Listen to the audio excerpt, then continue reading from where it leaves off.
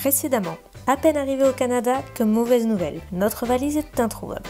On espère qu'elle est juste retardée car j'ai mon matériel médical à l'intérieur, donc on évite de trop s'inquiéter et on part découvrir Montréal. Mon premier écureuil canadien. Et on a beaucoup marché. On se dit mais pourquoi on n'a pas pris le bus? Je sais pas. Oh, et je suis allée à la recherche d'alternatives pour mon matériel médical. Boîte d'écran, Ouais. 336.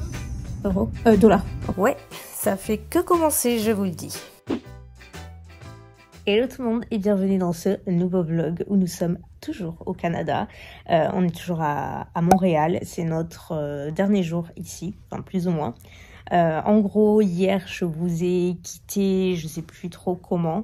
Oui, c'est quand on allait à métro, etc. Et après, on est allé laver nos affaires à la buanderie. Et voilà, on n'a pas fait du yozo hier soir.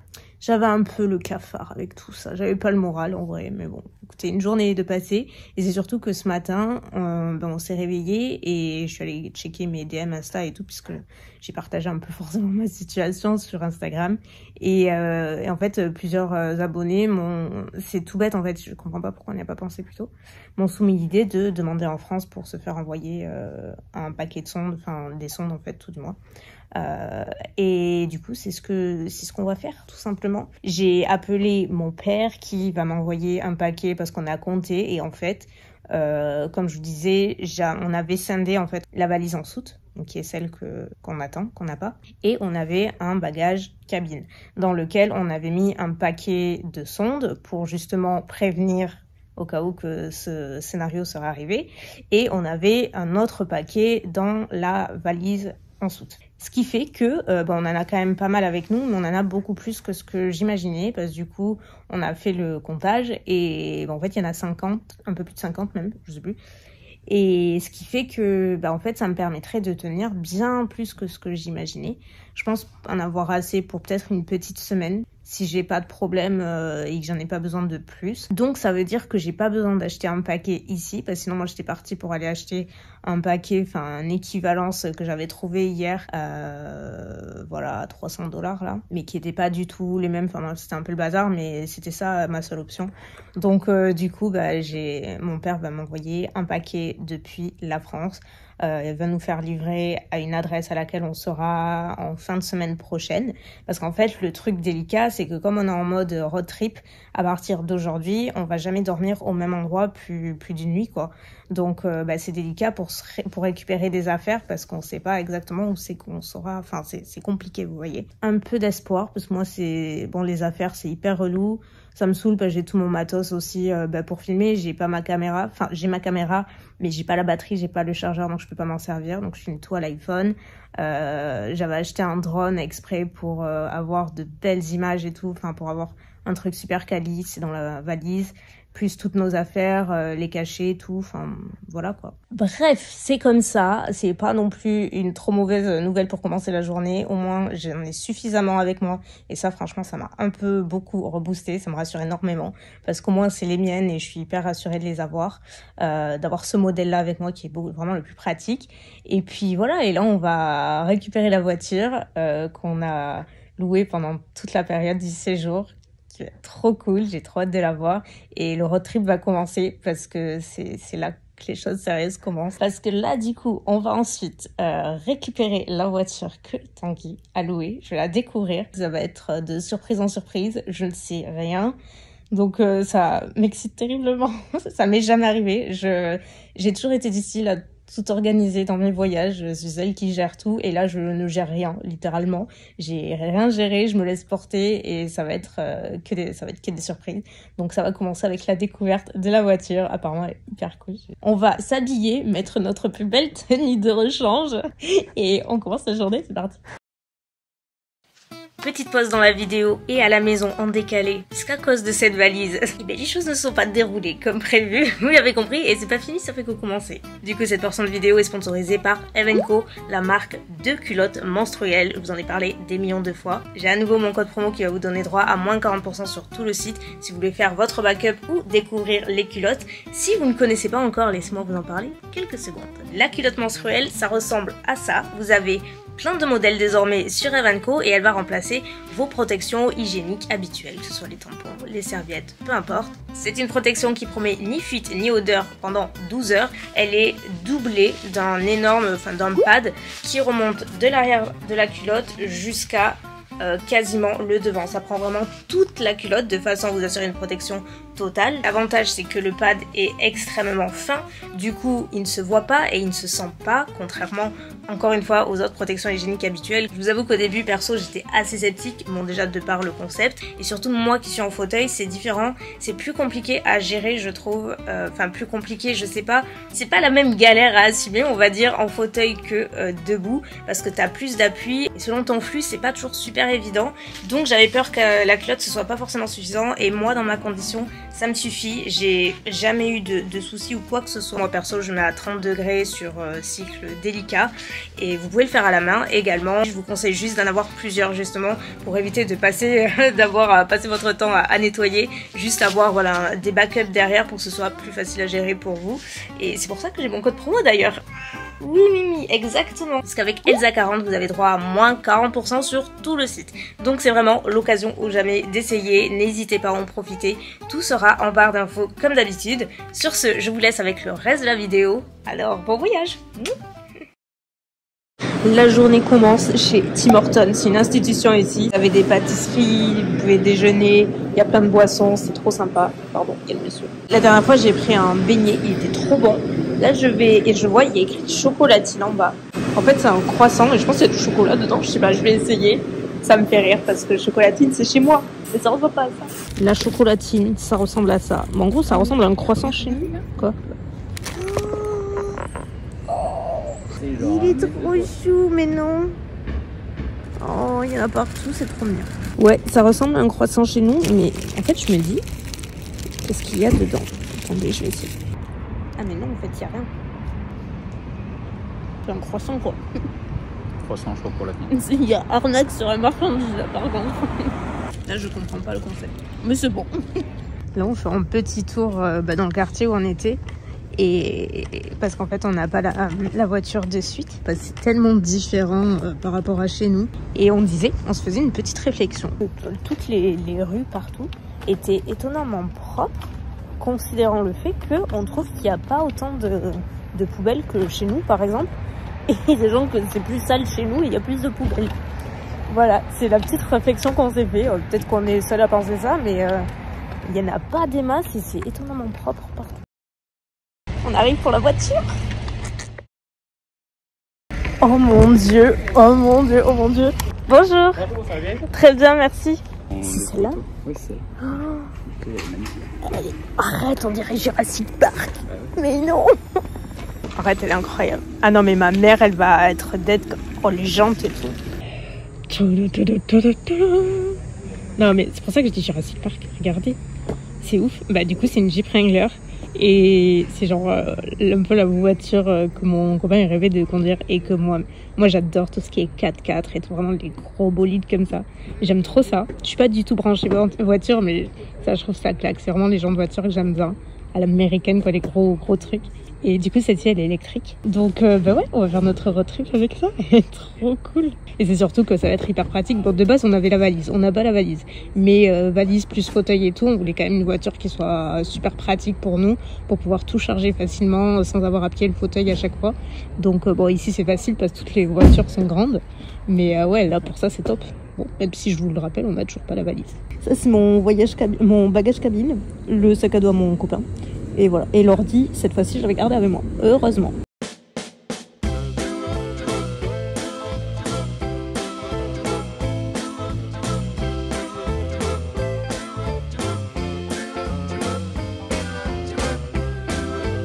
On arrive en ville de Mont-Tremblant. C'est trop chou. Regardez. Ah, ça a l'air trop trop mignon. On va déjà direct s'arrêter, manger un truc parce qu'on est affamé évidemment. Ah c'est ça, la maison du spaghetti. Nous sommes à la maison du spaghetti comme vous pouvez le remarquer dans nos assiettes. Nous avons la classique euh, boulette de viande spaghetti. Moi j'ai pris les spaghettis maison, c'est pepperoni, sauce à la viande, euh, piment vert et champignons, du pain à l'ail. Oui, oui, oui. Donc on va tout continuer après à pied.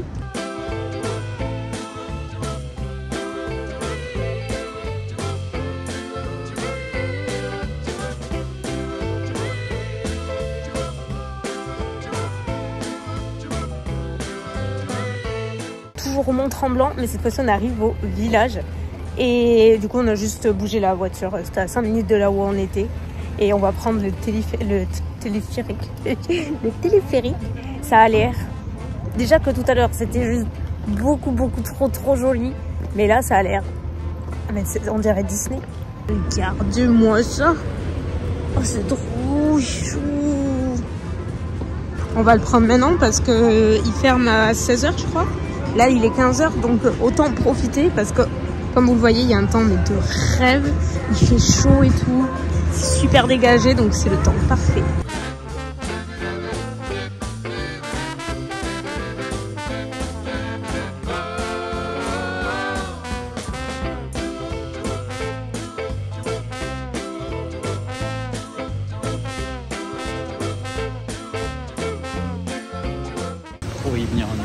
Ah ouais, en hiver, ça doit être encore plus magique. Parce qu'en plus, pour Noël et tout, ça doit être super décoré. Oh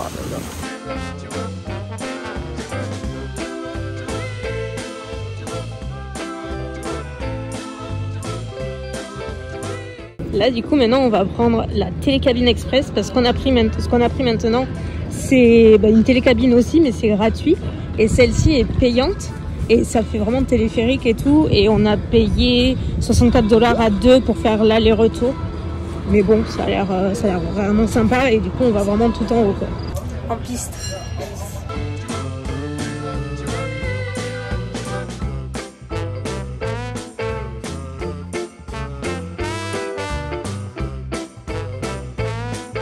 J'ai l'impression d'être au sommet du monde. C'est super beau.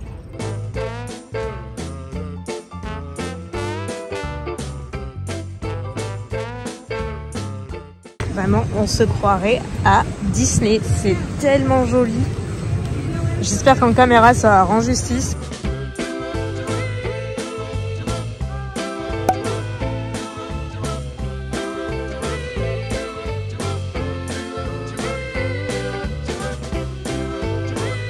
On a fait les gourmands. Enfin, il y en a un qui a fait les gourmands, qui a pas pu se retenir. Regardez-moi cette bête. En fait, c'est quoi? C'est un brownie à l'intérieur, ça? C'est bon C'est gourmand. Tu fais ça. Accessibilité, on aime. Il y a une pente. Franchement, ah bah t'as regarde, il y en a ici des queues de castor. C'est pas ça qu'on regardait Eh ben non, c'était une autre là-bas. Bref, on reviendra aux queues de castor dans deux minutes. Mais ouais, côté accessibilité, c'est super bien ici par contre. Super accessible, il y a des pentes partout. Oh, ça a l'air si confortable. ça. Oh là là. Bonjour. Bonjour. Ouais. Ah, il me dit c'est ça qu'il te faut pour cet hiver, une écharpe avec une poche.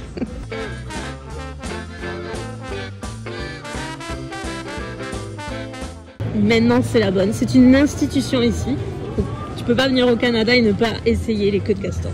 Donc c'est ce qu'on va faire. Et tadam Bon là c'est qu'une moitié, on se l'est partagé, mais en gros c'est une, c'est une espèce de pâtisserie, c'est une pâte euh, qui est frite.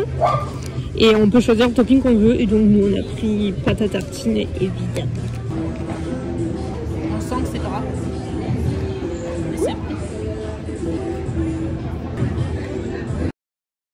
On arrive à l'hôtel. La journée est finie. Mais il m'a vendu du rêve, alors j'ai hâte de la voir.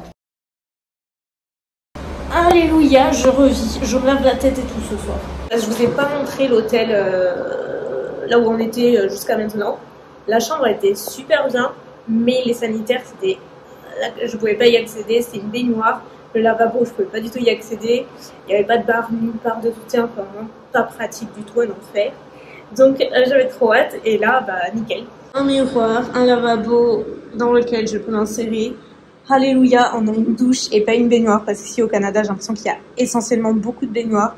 Donc euh, bah, voilà, douche, nickel, barre de soutien, siège et bah, les toilettes euh, classiques avec les barres. Et franchement, si je vous mets en grand angle, vous voyez la pièce elle est vraiment très grande. Quoi. Avec de la lumière, ce sera un peu mieux, mais effectivement, on a une très grande pièce. Franchement, Mont-Tremblant, c'était tellement, tellement joli. Le village. Moi, j'ai beaucoup aimé centre-ville déjà. C'est tout petit, mais c'est bourré de charme. Franchement, j'avais l'impression, si vous avez vu euh, Once Upon a Time, la série, bah, j'avais l'impression d'être dans la ville euh, de Storybrooke. Genre, c'est trop joli, c'est la même chose. Et euh, le village euh, Mont-Tremblant, mais c'est magnifique. C'est un mix entre Disney et Storybrooke, justement. Et j'imagine même pas en période de Noël. Euh, on va passer une bonne nuit. Je vais pouvoir me laver tranquillement. Je me suis lavée jusqu'à maintenant, mais c'était pas pratique. Donc, je précise. Mais je pense surtout je vais me laver les cheveux parce que je sais pas quand c'est que je pourrais le faire la prochaine fois. Bon, le seul truc, c'est que demain, je serai bouclée parce que j'ai mon lisseur dans ma valise. Donc, euh, bah, à partir de demain, euh, ce sera chouchou bouclé. Donc là, aujourd'hui, c'est la journée où on fait le plus de route. Oui, ça fait une trotte quand même. Euh, donc là, aujourd'hui, on va sûrement repasser vite fait, au, on va dire, dans la périphérie de Montréal. On va sûrement faire un arrêt Trois-Rivières, peut-être ici, là, au Parc National de la, Mauricie. Avant de reprendre la route, on voulait faire un petit arrêt euh, au bord du, tout le long du lac Mercier, je crois que ça s'appelle. Et c'est juste là où on se trouve. C'était pas très loin de là où on était parce que hier, quand on était en ville, on s'est arrêté au comment ça s'appelle Euh, Office du tourisme. Voilà, un espèce d'office du tourisme. Et la dame nous a conseillé de venir ici. Et effectivement, c'est super joli, vraiment. Hello, can't shake the simplest feeling beyond the ghost. We stand on the opposite shore. Hello, Ramona. I reach through mysterious ceilings. Nous sommes arrivés à Trois-Rivières parce que je sais plus si je vous l'ai dit, mais du coup, on fait un arrêt ici. On va peut-être après s'arrêter au parc national de la Mauricie. Mauricie. Comme ça, ça nous coupe un petit peu le trajet parce que sinon ça fait beaucoup de route et comme ça, bah, ça nous permet de voir euh, un maximum de trucs. On va se chercher un petit truc pour manger, on va et on va déambuler en fait. Juste découvrir à, à quoi ça ressemble un petit peu. Par là, ça a l'air sympa. Si on pouvait se trouver un petit truc par là, ce serait cool. Tada Coucou, le Saint-Laurent. Je pensais qu'il y aurait des petits trucs ici tout le long, mais non. My only hope. I look for the things I don't J'allais vous dire que on se sentait un peu seul. On n'a croisé aucun humain. C'est littéralement le premier couple qu'on voit. Et ça faisait très bizarre. On se demandait où c'est qu'étaient passés les gens. Mais ouais, sinon, euh, enfin vous voyez, c'est genre giga calme partout. Ah, si, il y a notre monsieur. Peut-être qu'on n'était pas du bon côté alors. On trouve rien pour manger, donc on essaie de. Bon, on voit. La plupart euh, des restos et tout, je regardais, c'est souvent 15h, 17h. Donc ça nous arrange pas trop. Mais on va trouver, on va trouver. Alléluia, on a trouvé un truc. Juste ici, parce que bah, après il y, a il y a une rue où il y a pas mal de petits restos, mais ils sont fermés en fait. Ça y est, on va enfin pouvoir manger. On a trop faim. Du coup, on ne change pas une équipe qui gagne. Frites de patates douces pour les deux. Monsieur a pris un burger qui a l'air très bon ma foi. J'aime bien les pains briochés, mais j'avais pas envie de burger, donc j'ai pris un wrap. Il est où le un wrap euh, César, poulet César. Vous savez quoi? On vient de sortir du resto, c'était trop bon. Si par cas vous passez par là, en fait c'est pas cher du tout. Genre tous les plats ils sont à moins de 10 dollars. Donc par exemple euh, le burger et le wrap c'était à moins de 10 dollars.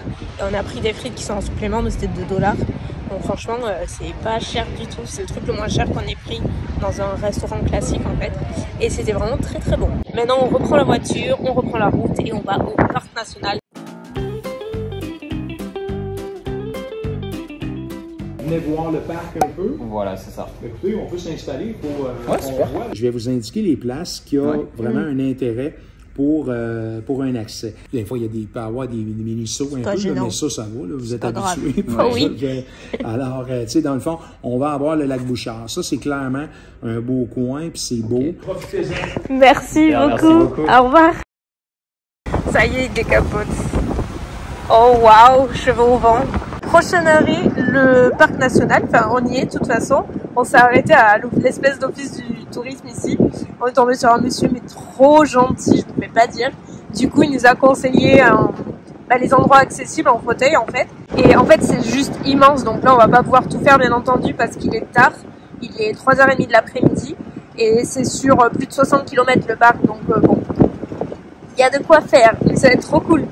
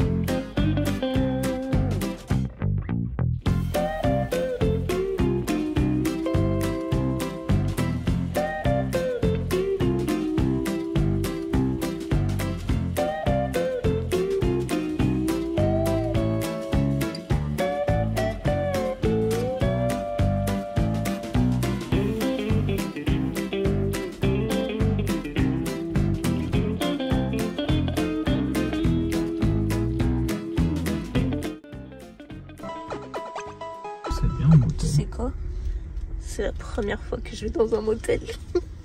Il va y avoir une, euh, une magouille, un gang de drogue, tout ça à la fois. On vient juste de rentrer, il doit être pas loin de, de 21h, quelque chose comme ça. Ça y est, le motel est là. C'est la première fois que je rentre dans un motel. Il m'avait dit que ça serait probablement le pire, pas le pire, mais le moins bien de tout le séjour. Ça va, franchement ça va. En termes d'accessibilité, il y a eu pire, ça va. On a une zone bureau ici, on a deux lits, une salle de bain. Il y a une zone à euh, repassage. Ça plairait Hugo, mais bon, why not? Je vous ai pas trop fait de retour sur ce qu'on a fait aujourd'hui, parce que j'en avais pensé. Euh, Trois-Rivières, global- globalement, c'était mignon, mais ça n'a pas été mon coup de cœur. Été de toutes les villes que j'ai fait jusqu'à maintenant, celle que j'ai pas le moins apprécié, c'est trop dur, mais voilà, ça n'a pas été forcément ma préférée, même si c'était joli et par contre hyper paisible et tout. Mais voilà, après j'ai pas eu non plus le temps de la découvrir autant que Mont-Tremblant et Montréal par exemple. Mais euh, c'est quand même cool. Et le parc national cet après-midi très sympa, franchement c'était super cool. Euh, en fait on n'avait pas l'intention d'en faire euh, autant. Et en fait, bah si, côté accessibilité c'était cool, c'était assez cool. Il y avait quand même quelques points de vue accessibles. En fait le but c'est de prendre sa voiture et de faire tout le long du parc et de s'arrêter quand on veut s'arrêter. Il y a évidemment des tas de sentiers dédiés au rando, etc. C'est surtout pour des trucs comme ça. Euh, quand tu es valide, je pense que tu dois t'éclater. Néanmoins, en fauteuil, on a pu faire quelques points de vue et ça permet de voir vraiment, de s'imprégner euh, bah, du paysage, des lacs, de la nature. Franchement, c'était, euh, c'est vraiment relativement à faire. C'était dans les 8 dollars et l'accompagnateur de la personne handicapée est en gratuité. Donc euh, voilà, pour info, pour celles et ceux que ça intéresse. On se quitte pour aujourd'hui, pour ce vlog. J'espère que ces deux jours vous auront plu. Au Canada, vous aurez peut-être découvrir des trucs. C'est pas terminé. Demain, on reprend la voiture et on continue notre périple. Je ne sais pas encore où. Ce sera la surprise demain matin. Donc n'oubliez pas d'activer la cloche si c'est pas encore fait, comme ça vous êtes au courant de toutes les notifications dès que je sors une vidéo, d'être abonné si c'est pas le cas non plus. Et moi je vais passer une bonne nuit de sommeil parce que je n'en peux plus et j'ai hâte d'être à demain. Je vous fais de gros bisous. Bye McDo au Canada, c'est pas pareil. Enfin j'imagine. Ça fait combien? 10 kilos? Il y a 190 000 celui-là.